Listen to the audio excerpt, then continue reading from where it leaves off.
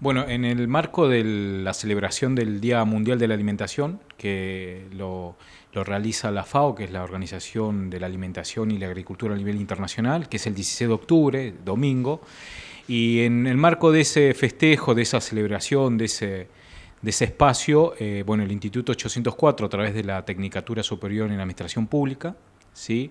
Eh, y a través de la cátedra de un espacio curricular que se llama Economía Local, Regional y Global, eh, pensamos en una jornada eh, justamente en, este marco, que se llama Esquel Come. ¿sí? La idea es poder disertar sobre una temática que es la alimentación saludable y responsable.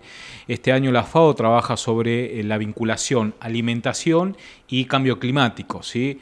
Eh, el mensaje es que cada decisión que nosotros tomamos habitualmente a la hora de consumir un producto alimenticio, estamos afectando en cierta forma el, cambio climático. ¿sí? Un ejemplo concreto que da la FAO es el consumo de la carne, ¿sí? a través de, bueno, obviamente que el consumo de Hoy en día los, los, las, las, vacas, básicamente, que es donde proveen nuestras proteínas, están alimentadas por granos, ¿no? Y es para esto se necesita una gran deforestación para poder eh, alimentar esta cantidad de vacas. Entonces, esta relación alimentación y cambio climático es la temática fundamental.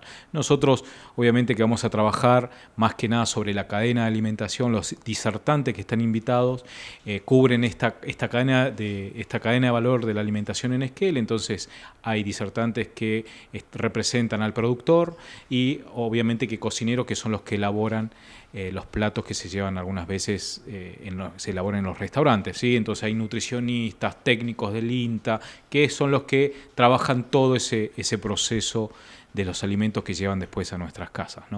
Esta organización va a estar, digamos, el la charla debate va a ser, como dijo él, 17 de octubre a las 18 horas. El lugar va a ser en el Instituto 804, que funciona en la Escuela 179.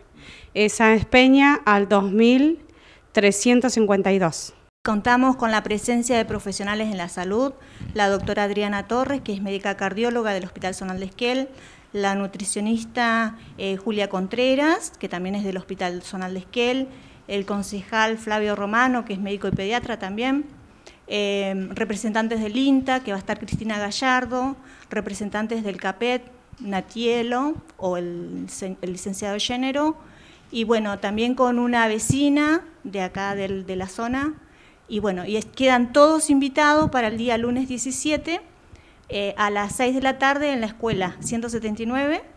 Este, bueno, la propuesta, el objetivo es generar una cultura responsable y saludable. Pueden informarse a través del Facebook, Esquel Come, hay un Facebook Esquel Come y también hay una página ya oficial de Esquel Come, a donde está el programa y todas las ideas, los productores locales que van a participar en esa, en esa jornada. Así que se pueden informar eh, a través de los medios virtuales.